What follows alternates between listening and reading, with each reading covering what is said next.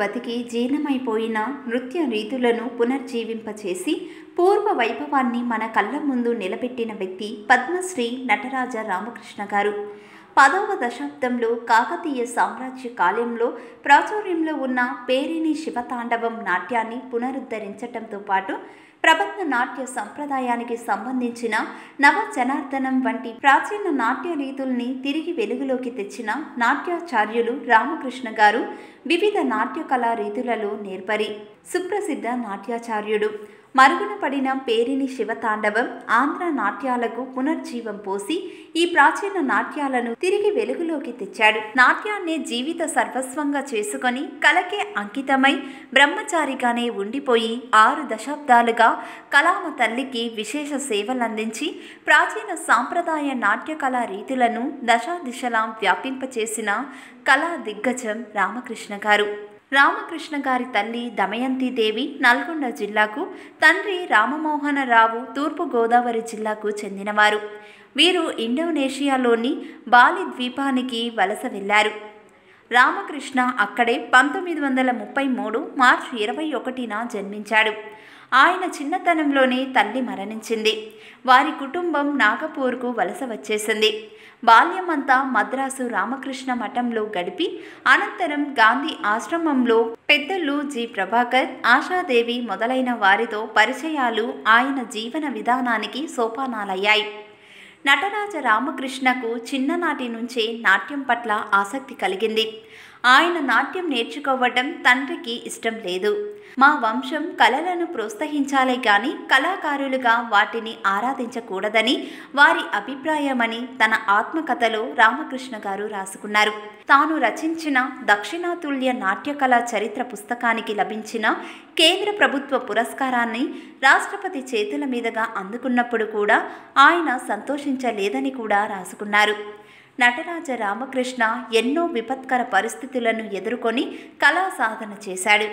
కుటుంబాన్ని సంపదల్ని వదిలి నాట్యం కోసం జీవితాన్ని అంకితం చేశాడు. ఆయన తనలోని కళా తృష్ణాన్వేషణలో ఎందరో గురువులను కలుసుకొని వారి నుండి ఎన్నో నాట్య రీతులను నేర్చుకున్నాడు. వారిలో మీనాక్షి సుందరం పిల్లై వేదాంతం లక్ష్మీనారాయణ శాస్త్రి నాయుడుపేట రాజమ్మ పెండెల సత్యభామలు ఉన్నారు. పద్దెనిమిదేళ్ళ వయసులో నాగపూరులో ఆయనకు నటరాజా అనే బిరుదును ఇచ్చారు. అప్పటి నుండి అది ఆయన పేరు ముందు శాశ్వతంగా చేరిపోయింది. తానమ నృత్యం ఒక అద్భుత ప్రక్రియ అంటారు నటరాజ రామకృష్ణ గారు.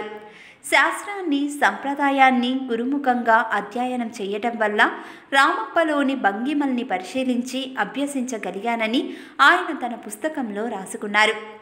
రూప సంపన్నుడుగా అందాన్ని భావింపగలవాడిగా రసానుభావం కలిగి రక్తి కలిగించేవాడుగా తాళజ్ఞానుడుగా గమకంలో నేర్పరిగా ధ్వనిగల శరీరం కలవాడుగా మంచి రేఖ గలవాడుగా వాయిద్యాలను ఎరిగినవాడుగా ఉండాలని అటువంటి వాడే పేరిని నృత్యానికి తగినవారని జాయప సేనాని తన నృత్య రత్నావళి గ్రంథంలో పేర్కొన్న విధంగా నటరాజ రామకృష్ణ రామప్పలోని మృగంధ భంగిమల్ని పరిశీలించి ఆ మృగంధ ధ్వనుల్ని మార్దాంగికునికి నేర్పి వాయింపచేశారు. పేరిని తాండవాన్ని పునర్నిర్మించటానికి ఆ మాతృకలే తనకెంతో సహాయపడ్డాయని ప్రతి శబ్దానికి ఉత్పత్తి పరాకాష్ట అంతరార్థనం అనే మూడు దశలుంటాయని ఆ నాదోత్పత్తి విజృంభణ నిశ్శబ్దతలను గురించి వివరంగా తెలిసి ఉన్న నర్తకుడు ఏ రూపానైనా సృష్టించగలడని నటరాజ రామకృష్ణ పేరిని నృత్యానికొక సజీవ రూపకలన చేసి మన ముందు ఉంచారు. తెలంగాణ ప్రాంత ప్రాచీన నృత్యమైన పేరిని నృత్యాన్ని యోధుల నృత్యం అని కూడా పిలుస్తారు. పూర్వకాలంలో యోధులు యుద్ధ రంగానికి వెళ్ళబోయే ముందు పరమశివుడి ముందు ఈ నాట్యాన్ని అత్యంత భక్తి శ్రద్ధలతో ప్రదర్శించేవారు. ఓరుగల్లును దాదాపు రెండు దశాబ్దాల పాటు పాలించిన కాకతీయుల హయాంలో ఈ కళ బాగా పరిడవిల్లింది ఈ నృత్యం మనిషిని ఉత్తేజపరుస్తుందని శివుడికి నివేదనగాను పరిగణిస్తారు. ఈ కళకు సంబంధించిన ఆధారాలు ఓరుగల్లుకు సమీపంలో ఉన్న రామప్ప దేవాలయంలో గల శిల్పకళలో గమనించవచ్చు. లయబద్ధంగా సాగే డప్పుల మోత దీనికి సంగీతం. ఈ కళాకారులు నాట్యం చేస్తూ ఆ పరమశివుణ్ణి తమ దేహంలోకి ఆహ్వానించి అలౌకికమైన అనుభూతిని పొందడానికి ప్రయత్నిస్తారు. కాకతీయుల శకం ముగియగానే ఈ కళ దాదాపుగా కనుమరుగైపోయింది. మళ్ళీ నాట్య పితామహులుగా పిలవబడే ఆచార్య నటరాజ రామకృష్ణ కృషితో మళ్ళీ వెలుగులోకి వచ్చింది. నటరాజ రామకృష్ణ పేరిని నృత్యంతో పాటు ప్రబంధ నాట్య సంప్రదాయానికి సంబంధించిన నవ జనార్దనం వంటి ప్రాచీన నృత్యాన్ని కూడా పునరుద్ధరించారు. ఆయన ఇచ్చిన నాట్య ప్రదర్శనలు శ్రీ వెంకటేశ్వర కళ్యాణం కుమార సంభవము మేఘ సందేశం ఉజ్జయినిలో ప్రదర్శింపబడిన కుమార సంభవానికి స్వర్ణ కలశం లభించింది. నాట్యరంగ తృష్ణతో దేశమంతా పర్యటించి మన నాట్యరంగ రీతులను తీరుతెన్నులను కులాంకషంగా పరిశీలించిన పరిశోధక కళా తపస్వి రామకృష్ణ. హిందీ సంస్కృతం దక్షిణాది నాలుగు భాషలలో అనర్కలమైన పాండిత్యం కలిగినవాడు కూడా. ఆంధ్ర నాట్య కళ కళాకారులుగా ప్రసిద్ధులైన కళాకృష్ణ పేరిని రమేష్ వెంకటేష్ మరెందరో ఆయన శిష్యులు. ఒక విధంగా ఆయన ఆంధ్ర నాట్యానికి వటవృక్షంగా పేర్కొనవచ్చు. సినిమా నటుడు తిక్కవరపు రమణారెడ్డి ఆహ్వానం మేరకు నెల్లూరు వెళ్ళి అక్కడ నృత్య నికేతనం అనే నాట్య శిక్షణాలయాన్ని స్థాపించాడు.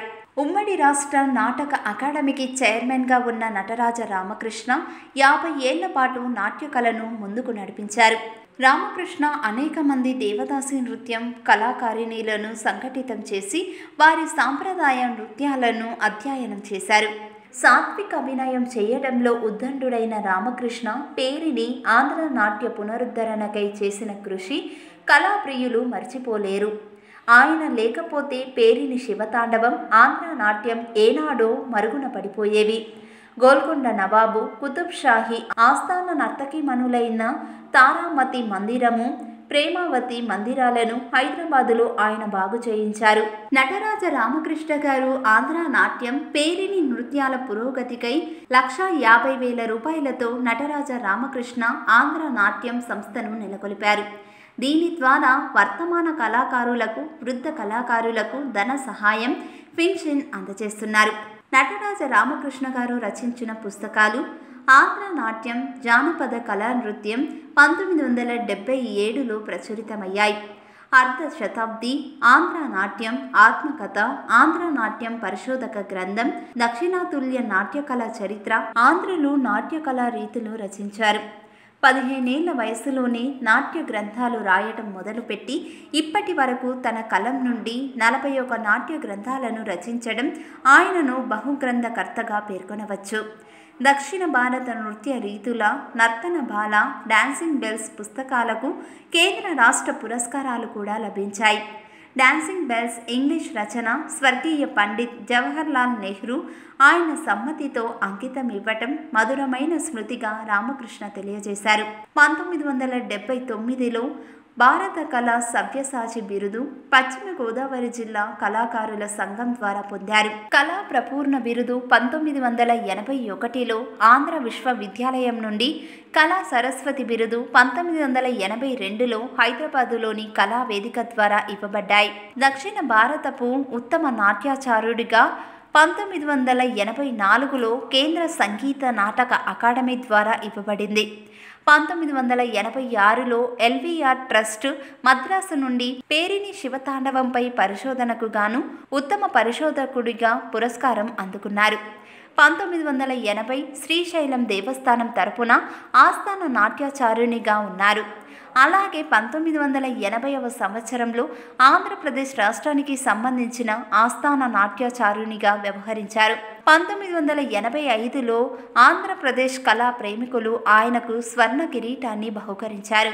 పంతొమ్మిది వందల తొంభై ఒకటిలో శ్రీ రాజలక్ష్మి పురస్కారం తొంభై ఐదులో రాజీవ్ గాంధీ ఫౌండేషన్ అవార్డ్ మరియు భారత ప్రభుత్వంచే పద్మశ్రీ పురస్కారం అందుకున్నారు. పంతొమ్మిది వందల తొంభై తొమ్మిదిలో కళాసాగర్ అవార్డు అందుకున్నారు.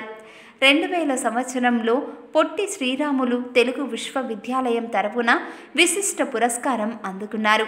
భరతనాట్యం కూచిపూడి ఒక రకంగా అన్ని భారతీయ నృత్య సంప్రదాయాలను ఆకలింపు చేసుకున్న భారత కళా ప్రపున్నుడు నటరాజ రామకృష్ణ. తెలుగువారి సంస్కృతికి దర్పణమైన ఆంధ్ర నాట్యాన్ని పునరుద్ధరించి ప్రపంచవ్యాప్తంగా బహుళ ప్రచారం చేసిన కారణ జన్ముడు అనవచ్చు. నాట్య కళకు అంతర్జాతీయ ఖ్యాతి తెచ్చిపెట్టిన రామకృష్ణ జూన్ ఏడు రెండు వేల పదకొండున హైదరాబాదులో మరణించారు. నృత్యానికి అంతర్జాతీయ ఖ్యాతిని తెచ్చిన నాట్య గురువు పద్మశ్రీ నటరాజ రామకృష్ణ గారు. దేవాలయాలు ఉన్నంతకాలం ఆంధ్ర నాట్యం జీవిస్తూనే ఉంటుంది. దాని గొప్పతనాన్ని గురించి రేపటి తరానికి ఈ కళా ఔన్నత్యాన్ని చాటి చెప్పవచ్చు.